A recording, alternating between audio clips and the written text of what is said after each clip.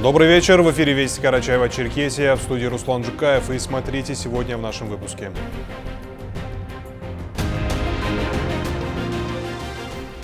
Число желающих заключить контракт для участия в специальной военной операции растет. Сегодня в военкомате республики очередная группа подписала контракт с Министерством обороны.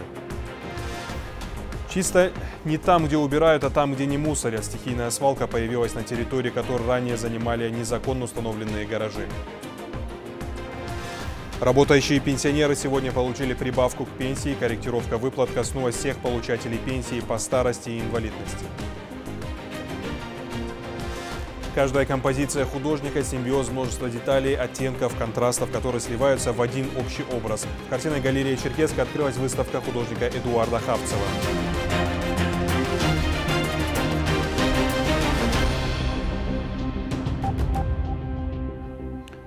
Сегодня на заседании правительства Карачаева-Черкесии установлена величина прожиточного минимума на душу населения по основным социально-демографическим группам населения в республике на 2025 год. В соответствии с проектом постановления величина прожиточного минимума с 1 января 2025 года по республике составит на душу населения 16 669 рублей для трудоспособного населения, 18 169 для пенсионеров 14 335 рублей и для детей 16 669 рублей. По поручению главы Карачаева-Черкесии Рашида Тимрезова многодетные семьи региона смогут получить компенсацию половины стоимости за обучение детей в средних учебных заведениях. Так, многодетным семьям предоставлено право на компенсацию 50% стоимости обучения детей, если ребенок учится по очной форме на платной основе по программам среднего профессионального образования в образовательных организациях. Важно отметить, что предоставление социальной поддержки осуществляется до достижения старшим ребенком возраста 18 лет или возраста 23 лет при условии его обучения в организации, осуществляющей образовательную деятельность по очной форме обучения. В Карачаево-Черкесии продолжается работа по социальной догазификации в рамках реализации поручений президента России Владимира Путина. Программа пользуется большим спросом у граждан Карачаева-Черкесии. С начала этого года уже 617 жителей республики заключили договоры на подключение в рамках э, социальной догазификации. Кроме того, за счет регионального бюджета оказывают финансовую поддержку для всех заявителей без исключения на проведение работ внутри границ домовладений. А по льготным категориям граждан предоставляется субсидия на приобретение внутридомового газового оборудования. В первую очередь это многодетные семьи, участники специальной военной операции, семьи с низким доходом, отметил руководитель региона. Шесть добровольцев из Карачева-Черкесии подписали сегодня контракт с Министерством обороны России. В Республиканском военном комиссариате военнослужащие подробно ознакомились со всеми условиями контрактной службы. О том, как проходит данная процедура и какие меры поддержки ждут добровольцев, узнавал наш корреспондент Альхан Липшоков. Мои друзья находятся в зоне специальной операции, и я также хочу оказать им поддержку, отмечает Данил Почевалов. Специальные инструкторы пункта сбора рассказали, как правильно заполнить анкету и отвечали на вопросы военнослужащих. Доброволец Даниил Почевалов решил связать свою жизнь служа Отечеству. Находясь на передовой, я буду уверен, что мои родные в безопасности, отмечает он. Чтобы твои родные, наверное, под голубым небом ходили. Чтобы они, ну, были бы в безопасности, зная то, что ты там, ты их ограждаешь от э, всех э, опасностей в этом мире. Вот все.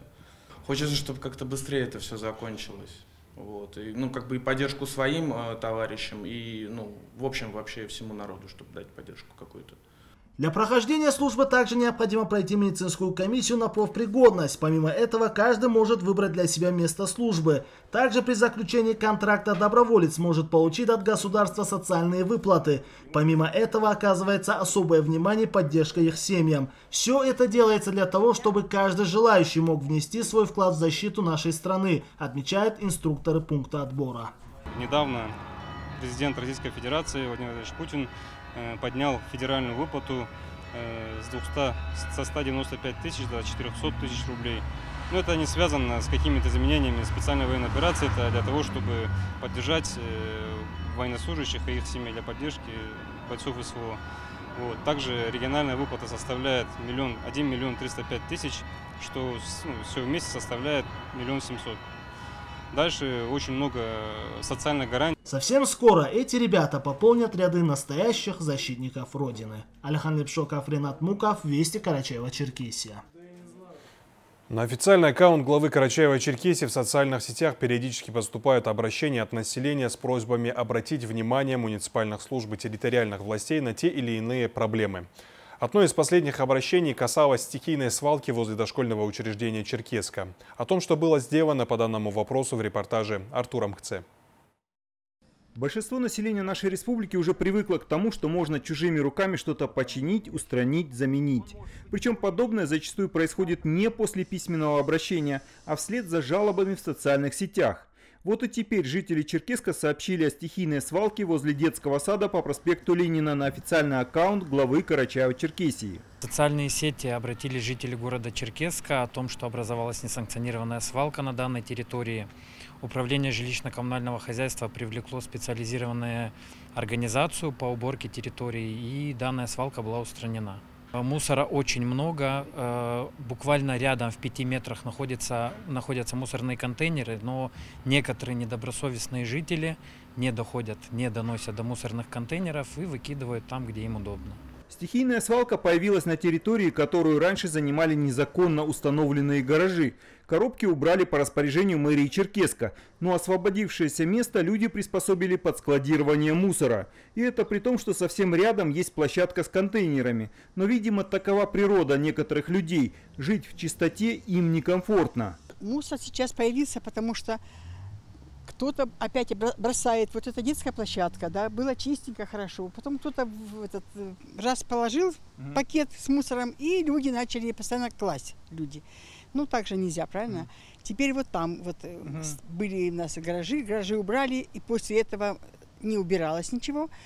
И люди начали, и банки, и склянки, и мешки, мешки, все, что это. Ну, потом пожаловались, как бы тут же рядышком, в 10 метрах детский сад. Э, видимо, мамочки где-то это сфотографировали, выложили куда-то, mm. куда следует. И тут же после, после обеда я иду, ничего нет уже, все вывезли. Залежи мусора с прилегающей к детскому саду территории убрали. Однако через считанные дни свалка появилась на новом месте. Мусор и сухостой люди начали складировать на бывшей спортивной площадке, так что, скорее всего, стоит ожидать новых обращений от населения. Артур Мхце, Миха Каракелян, Ренат Муков, Вести, Карачаево, Черкесия. Сейчас прогноз погоды, а после мы продолжим выпуск.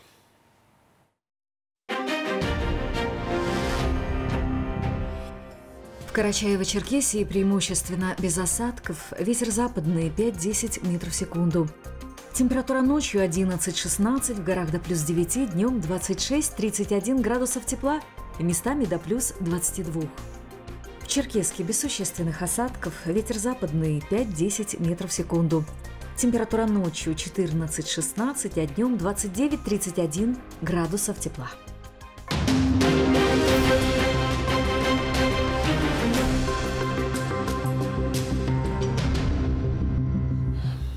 Продолжаем наш выпуск. С сегодняшнего дня у работающих пенсионеров увеличилась пенсия – Корректировка выплат коснулась всех получателей пенсий по старости и инвалидности, за которых в прошлом году работодатели платили страховые взносы. Выплаты также увеличили получателям пенсии по потере кормильца, если на лицевой счет человека, в связи с утратой которого была оформлена пенсия, поступили средства, неучтенные ранее при назначении выплат. До 1 августа отделение Социального фонда России по республике завершило доплаты к единовременным выплатам пенсионных накоплений, назначенных в течение прошлого года. Республики автоматически пересчитаны пенсии более 25 тысяч работающих пенсионеров. Августовский перерасчет, как и все плановые ежегодные повышения пенсии, отделение проводит автоматически. Поэтому не нужно никуда обращаться к пенсионерам, чтобы получить выплаты в новом размере. Деньги с перерасчетом будут перечислены пенсионерам Карачаево-Черкесской республики в августе по стандартному графику. Для этого специалисты отделения Социального фонда республики в июле заблаговременно провели необходимые мероприятия по корректировке размеров пенсионных выплат. В отличие от традиционных индексаций, при которых пенсии повышаются э, на фиксированный коэффициент, августовский перерасчет зависит от зарплаты пенсионеров – Чем она выше, тем больше будет э, пенсия. Максимальная прибавка составляет 3 пенсионных коэффициента.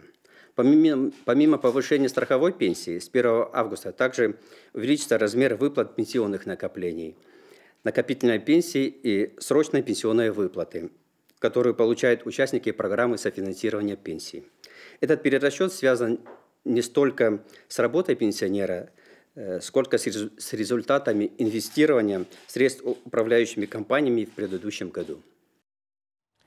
Быть художником значит верить в жизнь. В картинной галерее Черкеска открылась выставка художника Эдуарда Хавцева. Его творчество – это яркий пример того, как человек может молча выразить свое внутреннее состояние на холсте.